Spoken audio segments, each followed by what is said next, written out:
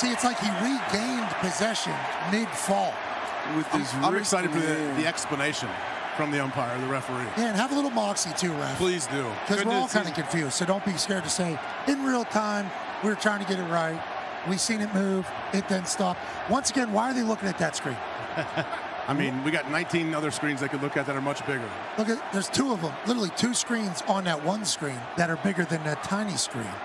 Think But he's about dialed in. Somebody's shades. He's got his little Xbox controller, slow mo, fast forward, rewind.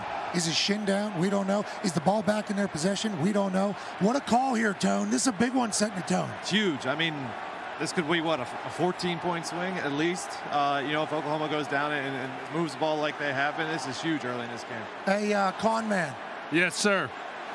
if this was to be an Oklahoma turnover, which it's almost like his knee knocked it out after he regained.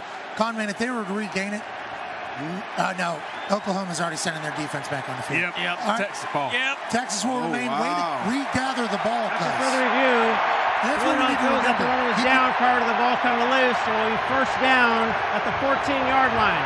The clock will start on my signal. No real moxie, but everything we saw. He, but he regained possession, which I like the fact that football has that now. That's Yeah, what I will remember I- I- forever from this.